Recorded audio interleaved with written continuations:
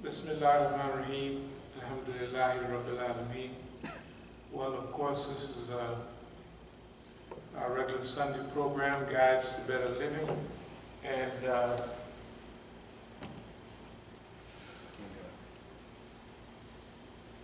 we talked a lot about uh, life we talked a lot about our story. Our story is generally what we've said a thousand times. For instance, in Oakland, they cut off our activity in East Oakland. And with the Saudis and the American and the Zionists, they shifted the Islamic activity to North Oakland, although there was a masjid in North Oakland that they had just built. In fact, we started helping the Islamic Center of North Oakland, I mean of Oakland, in uh, 1981 and 82, in fact. Uh, but they hadn't, they hadn't built the masjid yet. In fact, there were some brothers from Kuwait and all those, those places. When they left, they didn't have, uh, they was going to a college and they was going to open a masjid. And when they left, they gave us the money because they came to our masjid all the time. So they gave us the money that was uh, they was going to use for the masjid uh, closer to their university or college. In the meantime, they did raise money for the masjid in North Oakland. But if you go back 10, 15 years ago, or stuff, especially before the period of fitna, the masjid in East Oakland had school, had some uh, economic activity, and the masjid was packed with people all the time. Five daily prayers, the whole show. We had acquired property across the street, and we y'all seen pictures of all of that property. Okay, the people in Oakland have the same idea, the same picture about us.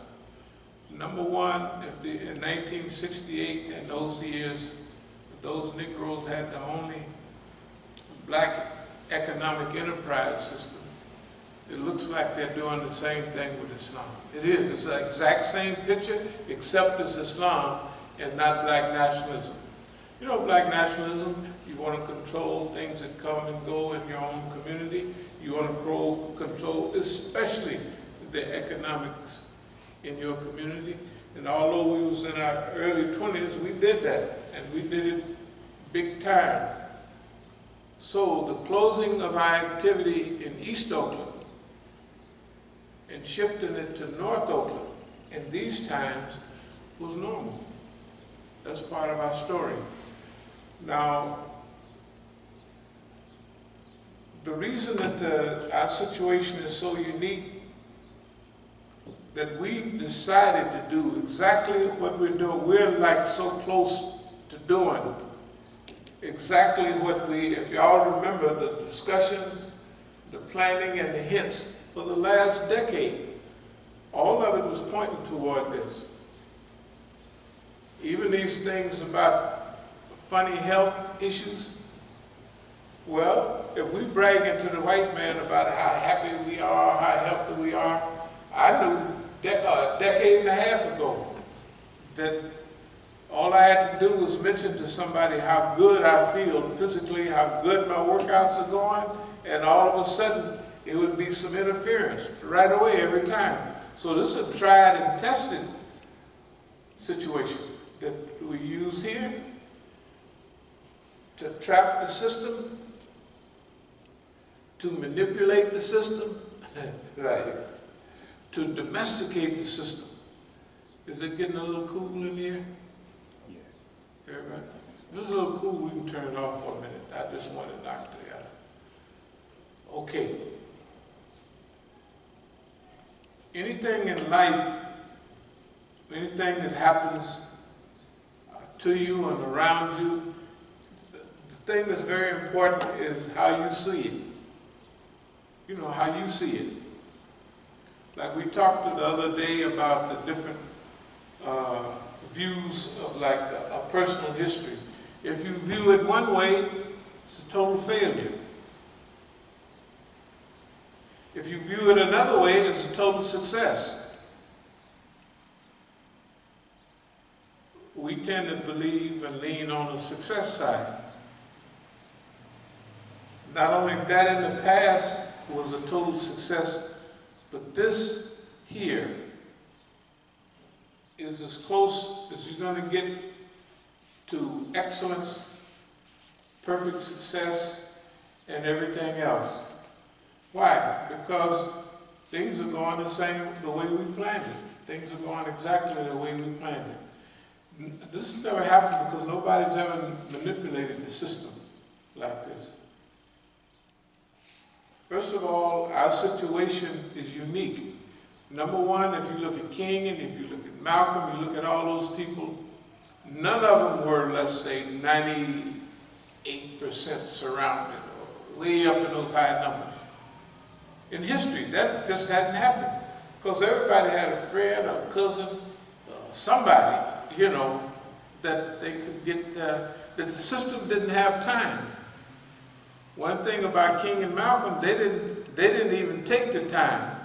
With Malcolm, they said, we just finish this off now because oh, we just don't know where this is going. And wherever it's going, it don't look right for us. So they, uh, they just terminated the whole project right away. They didn't, they didn't waste no time. That's what happened with dear Malcolm. They just, they didn't wait at all. They didn't give no time for any recovery, for, uh, if you were to notice the difference in uh, Malcolm's trajectory, just the last hundred days of his life, it was like he was on a rocket ship. You ever notice those cameras on, uh, on the bottom of those rocket ships when it's going up, those rockets? Mm -hmm and you see the earth just get shh.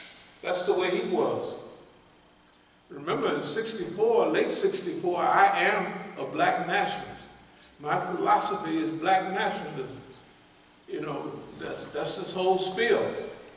Then you, you hear a few of those tapes on those 30, uh, 30 lectures. I'm a Muslim, my religion is Islam. La ilaha illallah, he even said it in Arabic. Uh, he went to one trip to the so-called, not one trip, many, to the Middle East, to Egypt and all that. Then he went to the other trip uh, for Hajj. Mm -hmm. Bam, it was all over. He was moving too fast. Remember, he even come back here saying, well, maybe if religion, if Islam has helped us so much, it might help the white man. Does anybody remember that? Yeah. Yeah. He said it might make, so it said, hold it, hold it, hold it, hold it. And you remember, uh, was his brother in Chicago? Fred Hampton. Fred Hampton that was meeting with the poor white folks. Mm -hmm. And they had a wonderful meeting. It was it's on camera. Yeah. I mean, it must have been the next day. I mean, they finished him off so fast and thoroughly. They wasn't leaving no chances, no one bullet theory or no two bullet theory. Right. They assassinated him in the most brutal and ruthless way. Okay. Now, you know, we've not only been involved in all that, but we studied that.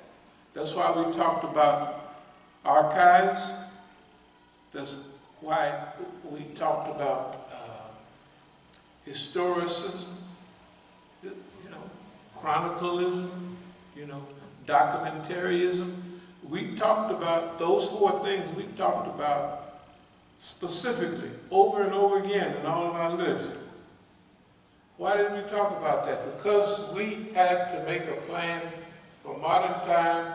We had to go into this thing, and the title of the thing is Strategic Depth. Today, is Strategic Depth. Now, we're going to talk about why what is strategic depth and why is it so important?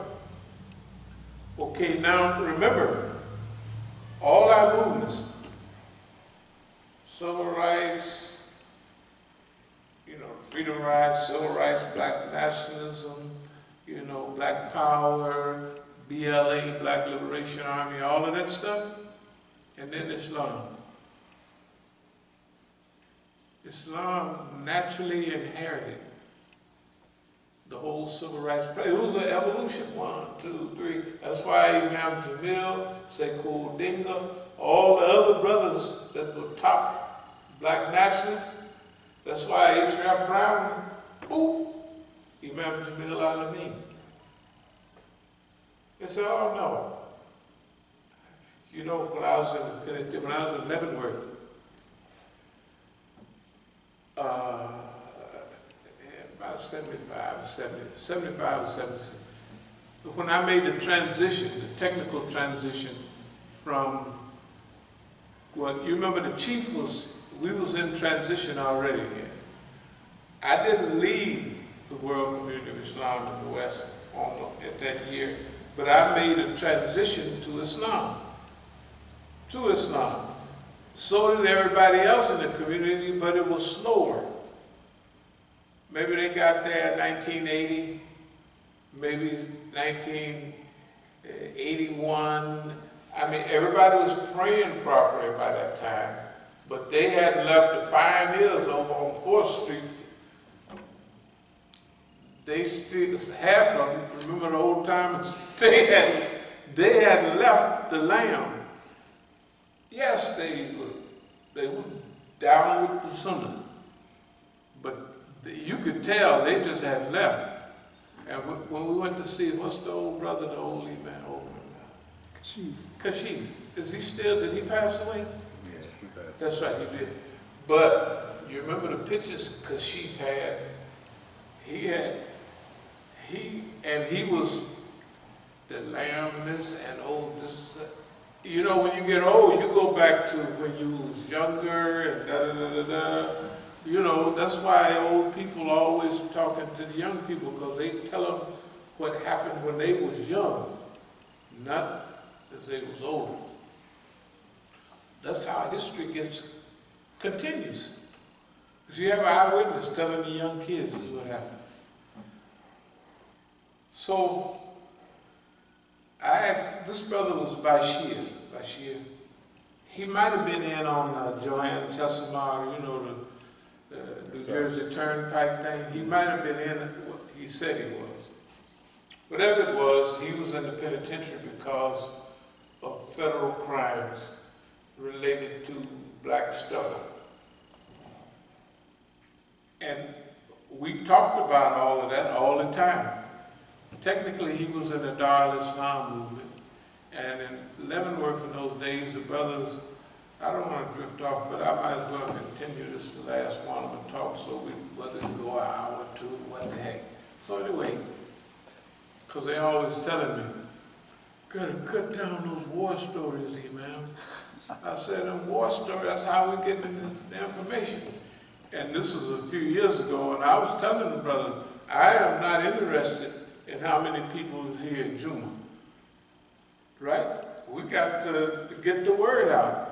After we done got the, the, the world saturated with Islam, then we can uh, move on to uh, other things or move back to regular khutbahs. Anyway, so I was in receiving. When we was in receiving, uh, we was fishing, you know, the Nation of Islam.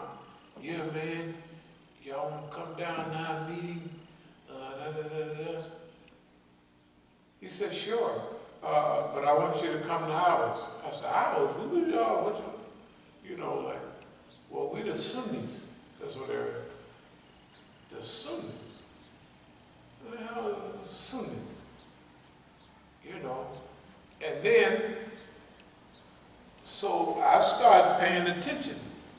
Now I knew about this. I had read all the books on it. I was, I'd been to Algeria, Africa. I knew that what we was practicing wasn't no, I, I don't want to go into another war story.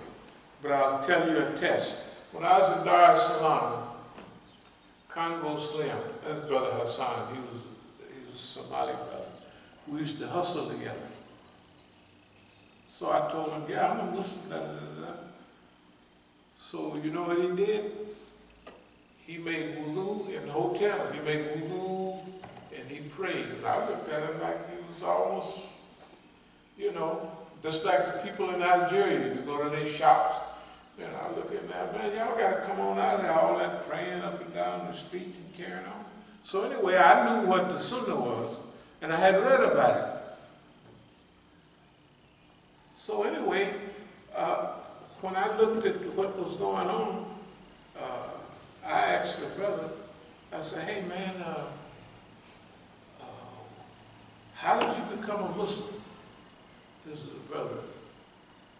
He said, well, he said, uh, it was my job. I was a captain or somebody, chief in the underground, you know, in the, in the BLA. He, they was, I was in Leavenworth with the brothers that was actually, had done the things and now they was in jail for that. So he said, well, it was my job to study Islam. The comrades told me to study Islam and see what was up. And the study was based on why is all of the brothers becoming Muslims. So they did a, you know, no investigation, no right to speak. That's what the socialists call So they would investigate. So he investigated, he said, I investigated and I became a Muslim. You know, I mean, through a real investigation.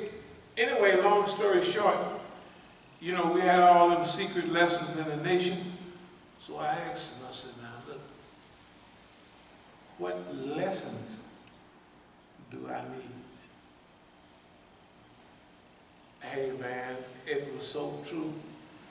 You remember the, the, the, the same printing of Sahih Muslim we have, the, the English with all the good footnotes? He said, all you need is the Quran and this book right here, the Hadith, the four volume set, same one. Hey man, he was genuine, he was true. He told me exactly what, no secret lessons, no nothing. Okay, anyway, with all that history, we got to archive this. Strategic depth is when you got a plan, your enemy is so powerful, he just scares everybody else to death, and technically he hadn't lost no battles, hardly. I mean, he didn't lose nothing big in civil rights. When he put drugs in the black community, that boy was successful, right? They knocked us, you know, not that I was helping them or anything, but we, they, they knocked us. Okay? If somebody don't stop him, he gonna kill the rest of the white folks too, with all that opium, uh, opium, what do they call it? Opioids, you know, the Oxycontin and all that. So our goal was to manufacture, to arrange, to develop a system that would domesticate this system, train the system that it automatically operates to help you. That's what domestication is. You, you domesticate a cow, whatever, you get its milk. You know. Now, if you if it have a calf, you might let it share a little bit of the milk, but you're gonna get your share too. Just have to produce a little bit more, eat a little bit more grass. But you're gonna get your share of that milk because the animal is domesticated. It might be, this statement works so well, we have part of our writings that say, beware. Beware of a certain type of arrogance. You know what that is? Spiritual arrogance. Beware. Watch out for spiritual arrogance. Now I'm going to do something a lot of these things come from just a few years ago, but I want you to remember as many uh, titles and the lecture we talked about 2015, 2005, we'll go back to 2002. I, I would say that we're in the last, the last two stages are the result of 2002. 2002 was the very last national conference we had. And as we were sitting here, uh, I said, well, fine. It was just total arrogance. Abdul Malik had his whole team up here. Khadijah and uh, Karima had a fight. Actually, they, I would say they're probably on the same team. I- I'm almost certain of that. So Khadijah's job is to beat up all the girls. Halle Berry, he whooped her. She whooped him. She whooped. She whooped, she, she whooped her. The little yellow girl in the school out there in Oakland, jumped on her. She jumped on everybody for Abdul Malik. So, if you looked at what happened here, if you use 2002, that conference, in that conference, we're talking about real, we ready to, we really ready to step off into dreamland. That's what we're talking about in our, in our, in our message to the people. That we talking about the skies, the bluest, the all that, that's the, the language of the, the, the handout, As-Sabiqun. But I watched the way that uh, meeting happened, and I just told everybody, end, everybody remember, I said, yeah, just totally surrounded here, and I said something about, uh, what did I say about, uh, Being You stabbed in the back. yeah, I've been stabbed. I said, yeah, the people that stabbed in the Pope, everybody. That, not everybody, but that crew, that's what they was doing. Think about 2005, it's three years. Think of all the notes and the- this archivism is not new. There's nothing new about it. The stuff we were studying in the past helped us prepare for what we was doing then. But by 2005, Oakland is snitches. Oakland is what, not, not a halfway house, but Clearing. a clearinghouse. Oakland is a clear, it was, that's exactly what it was. Why was it a clearinghouse? Because the government had so many snitches in our